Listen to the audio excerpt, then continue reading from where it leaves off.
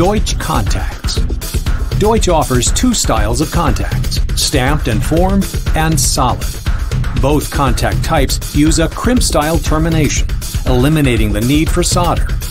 All Deutsch contacts have a solid raised shoulder for high tensile strength pin retention, and no retention tangs are required.